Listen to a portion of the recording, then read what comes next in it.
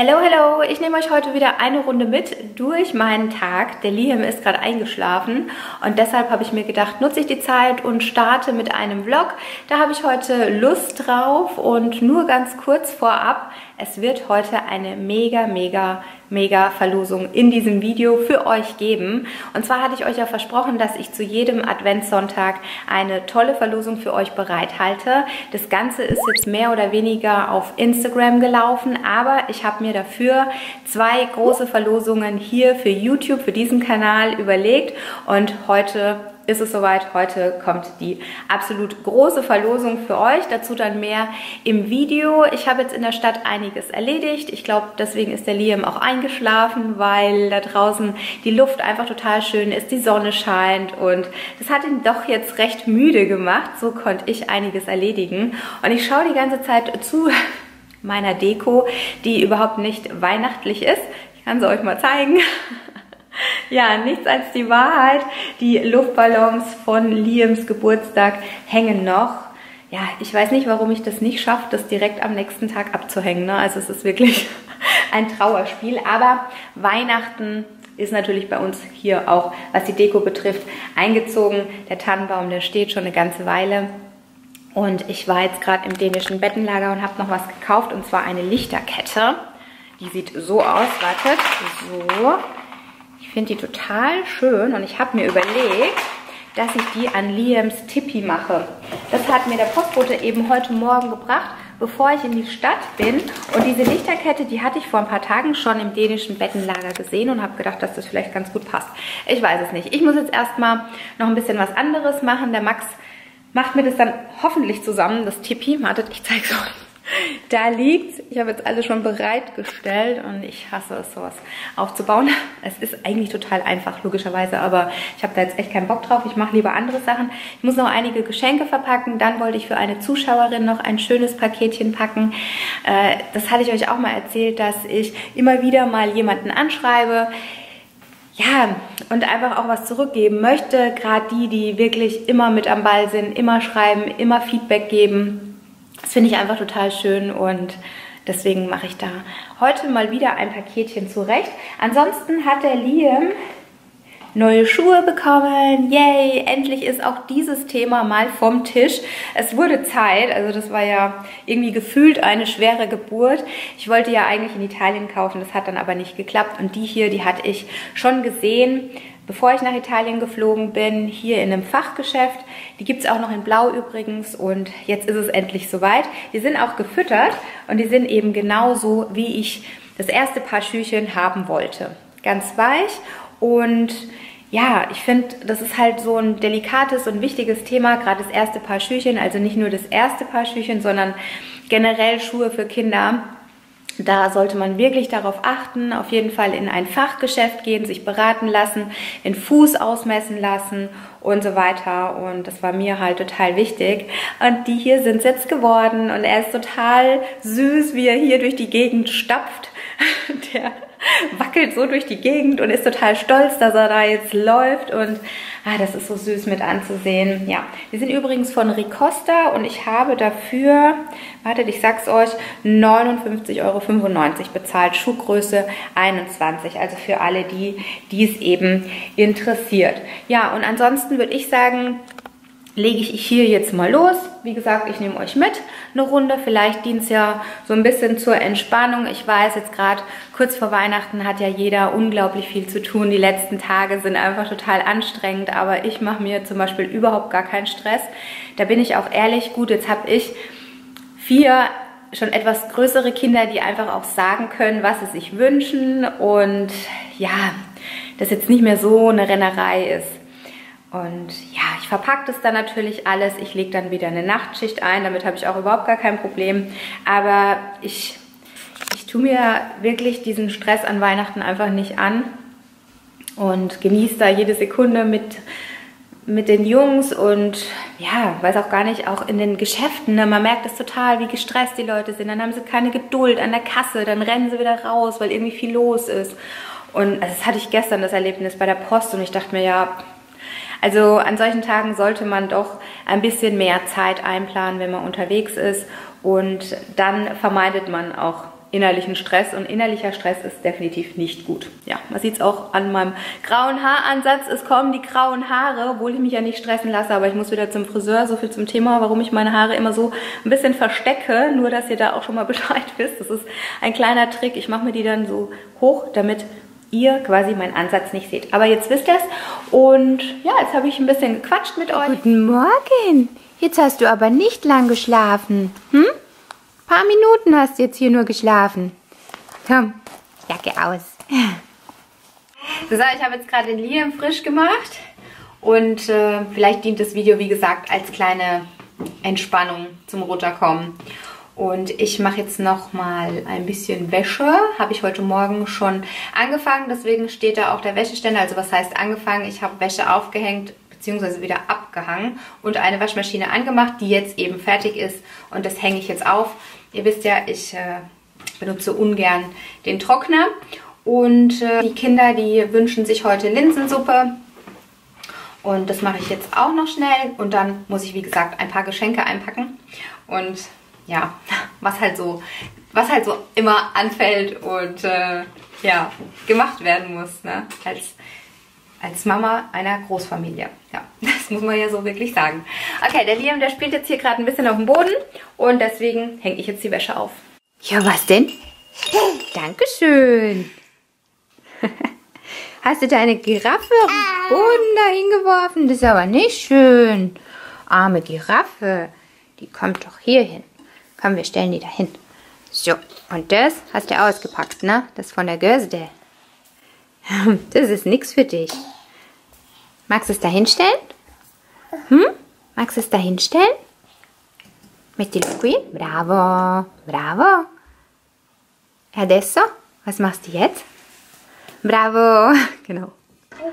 Bravo. Huh? Okay, magst du die nicht drauf haben? Ja, okay. Passt dir nicht so als Deko.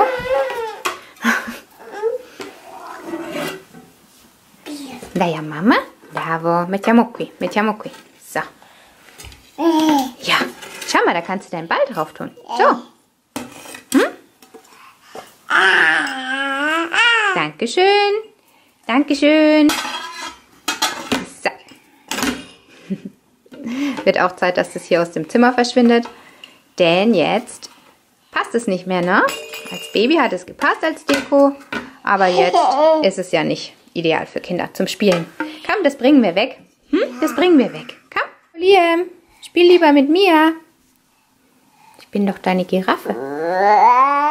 Genau, gib ihr mal einen Kussi. Kussi. Hier?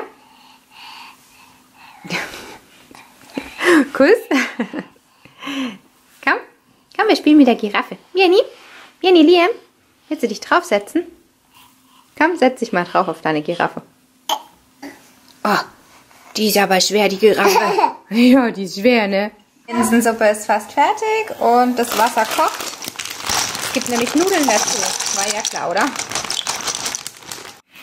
Liam, wir wollen jetzt dein Tipi ausbauen. Da musst du mal ganz kurz auf die Seite gehen. Jenny? Genau, setz dich mal dahin, da kannst du uns zuschauen. Da kannst du uns zuschauen, ne? Genau. So, also. Und noch eins. So. Sandra, ich glaube, wir müssen das jetzt so hier, beziehungsweise, warte mal, andersrum. Genau, so rum. So drauf machen, oder? Okay, also pass auf, jetzt müssen wir das hier so durchstecken. Hast du auch einen? Ja, genau. Oh, der Liam hat Schluck auf, wie süß. Scheinbar nicht von unten, sondern von oben. Boah, ich hasse es. Ich hasse es, Sachen zusammenzubauen. Äh, warte mal, wir müssen auch gucken, dass die Löcher ja, unten und oben sind.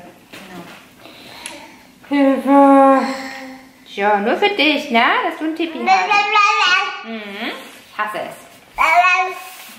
So, so, jetzt. Genau. oh mein Gott, wie wir uns anstellen. So, jetzt. Gut, perfekt. So. Gut. Hä? Aber wir lesen uns das lieber nochmal durch. Ja, wir lachen gleich, wenn wir es verstanden haben, wie es richtig ist. Okay, ich glaube, man kann ganz gut erkennen, dass ich es hasse, Sachen zusammenzubauen, obwohl es so easy scheinbar ist. Bekomme ich es einfach nicht hin. Es sieht richtig schrecklich aus. Aber der Liam hat gerade schon seinen Spaß und ist hier beschäftigt. Keine Ahnung, wie das eigentlich richtig geht. Da oben fehlt nämlich auch ein Loch in diesem Stabdingens. Na, wir warten jetzt doch lieber auf den Max. Also so sieht es eigentlich aus aber nur nicht bei uns.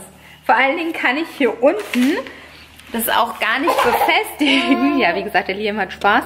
Hier, da fehlt nämlich quasi, ja, die Möglichkeit, das so festzumachen und zu spannen vor allen Dingen. Das ist halt, ihr wisst, was ich meine. Ich habe jetzt keinen Bock mehr, ich mache was anderes. Ja, die Mama kann das nicht. Kann die einfachsten Sachen nicht zusammenbauen. Aber Hauptsache schöne Deko gekauft. Ja. Naja, okay, wir warten auf Max. Ich zeige es euch dann entweder heute noch oder dann halt im nächsten Video. Ich glaube, der Max, der hat heute lang Uni. Ja, naja, dann mache ich mal hier weiter. Und zwar mit meinem äh, Paketchen für eine Zuschauerin, hatte ich euch ja schon gesagt. Ich habe schon alles bereitgelegt und zwar wird sie das hier alles von mir bekommen. Freue mich schon. Ich mache ihr das jetzt noch schön zurecht. Hier habe ich auch schon ein bisschen Streumaterial äh, zurechtgelegt und hier noch ein Karton. Und in den Karton hier kommen jetzt auch noch Sachen von der Verlosung, damit ich das dann alles zusammen zur Post schaffen kann. Es ist ja bei uns immer voll die Zucht, zur Post zu fahren. Ne? Deswegen versuche ich jetzt die zwei Pakete fertig zu machen und es dann in einem Rutsch quasi wegzubringen. Ja. Check. Bravo. Auch wenn wir es nicht hinbekommen haben, ne? Der Max hilft uns dann. Bravo! Viele hatten mich auch noch gefragt, für welches Outfit ich mich denn für Liams ersten Geburtstag entschieden habe. Ich hatte euch in meinem letzten Vlog ein Outfit gezeigt, das ich eben hier bei uns im Ort gekauft habe. Das hat aber den Jungs leider gar nicht gut gefallen. Die wollten definitiv was Schickes haben für ihren Bruder. Und deshalb habe ich dieses Hemd hier gekauft bei Zara zusammen mit dieser Hose. Passend dazu die Hosenträger, eben wegen der Farbe zu diesem Hemd. Das ist auch wirklich total schön. Ich hoffe, dass ihr es gut erkennen könnt. Hier auch, da hat es noch das Detail zum Beispiel. Und die Fliege, die hatte ich noch. Die war an einem Hemd von Steif. Und das kann man dann quasi einfach hier so dran befestigen an einem Knopf. Ne, so. Und dann hat das Kind quasi eine Fliege. Ja, so viel zum Outfit. Also das ist auch noch aktuell bei Zara mit Sicherheit erhältlich. Also falls es euch gefällt, das war Liams Outfit zum ersten Geburtstag. Das Video dazu, das kann ich euch ja gerne mal verlinken. Meine Lieben, wir kommen jetzt wie versprochen zur Verlosung. Wir haben es jetzt ein paar Tage später. Ich habe mich nämlich am Finger verletzt. Ja, es sieht jetzt nicht so professionell verbunden aus. Ich habe es selbst gemacht. Ähm, ja, ich bin jetzt nicht so der Pro. Wir gehen jetzt rüber. Hier kommt jetzt auch gleich noch was zur Verlosung. Aber wir gehen jetzt mal rüber zum Tannenbaum. So, jetzt sind wir hier am Tannenbaum. Ich muss ein bisschen flüstern, der Liam ist eingeschlafen. Ich habe heute Morgen auch schon ein paar Pakete eingepackt. Werde es natürlich hier alles noch schön drapieren, klar. Hier sind noch zwei Pakete für euch und zwar habe ich diesen Staubsaugroboter und diesen Airfryer, natürlich auch nagelneu, auf Instagram für euch verlost. Die Verlosung ist noch nicht zu Ende, also falls ihr da noch mitmachen möchtet. Und jetzt, wie versprochen, die große Verlosung. Und zwar habt ihr die Möglichkeit, diese Nintendo Switch Lite zu gewinnen. Natürlich auch nagelneu mit diesen drei Spielen hier. Und es ist total einfach, wenn ihr teilnehmen möchtet, dann schaut gerne mal bei meinem letzten Video vorbei. Und zwar spiele ich da mit dem Max das neue Spiel, das ab 3. Januar erhältlich ist, also Dr. Kawashimas Gehirnjogging. Total lustig. Schaut da auf jeden Fall vorbei und kommentiert, falls ihr eben diese Nintendo Switch Lite äh, mit den drei Spielen gewinnen möchtet. Und natürlich geht es an die Abonnenten meines Kanals, also abonnieren nicht vergessen. Und ich werde dann hier jetzt später alles noch schön, wie gesagt, drapieren und zeige euch, was ihr noch gewinnen könnt. Dazu müssen wir jetzt aber nochmal zum Esstisch. Und zwar habt ihr die Möglichkeit, was wunderschönes von Leonardo zu gewinnen. Ich habe es jetzt hier schon mal auf den Tisch gestellt.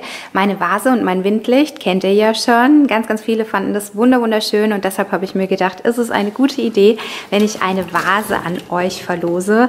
Hier ist sie drin. Ich finde die wirklich wunderschön und die sieht einfach so edel aus. Ich habe sie ja auch jetzt des Öfteren schon da auf dem Boden stehen gehabt, was natürlich ein bisschen gefährlich ist mit dem Liam, aber auch hier auf dem Tisch sieht sie, wie ich finde, auch wunderschön aus. Und äh, noch dazu habt ihr die Möglichkeit, ein paar wunderschöne Ohrringe zu gewinnen. Das hier sind meine und die kamen auch sehr, sehr gut bei euch an und deshalb habe ich sie eben auch noch einmal für euch hier. Ja, wie gesagt, ihr könnt die jetzt auch gewinnen. Die nennen sich Lia. Und ich wollte euch noch Bescheid sagen, dass es die Ohrringe Alba, das sind meine, auch wieder im Shop zu kaufen gibt. Also die waren ja sehr, sehr lange ausverkauft und da waren viele von euch sehr traurig, weil da sehr viele traurig waren, dass sie eben nicht mehr im Shop erhältlich waren, wollte ich euch einfach nur ganz kurz Bescheid sagen, dass sie jetzt eben wieder im Shop erhältlich sind. Die nennen sich Alba und ich kann jetzt gerade leider gar nicht einfangen, wie wunderschön sie eigentlich in Wirklichkeit sind. Es wird nämlich immer dunkler draußen. Aber falls euch sowas interessiert, könnt ihr ja gerne mal bei Leonardo vorbeischauen. Ja, und um die Ohrringe und die Vase gewinnen zu können, schreibe ich euch am besten alle Infos mal unten in die Infobox. Da könnt ihr vorbeischauen. Und jetzt verabschiede ich mich von euch hier mit meinem ledierten Finger, was echt total witzig aussieht. Und wünsche euch natürlich nur das Allerbeste und hoffe, dass wir uns dann im nächsten Video wiedersehen. Bis dann. Tschüss.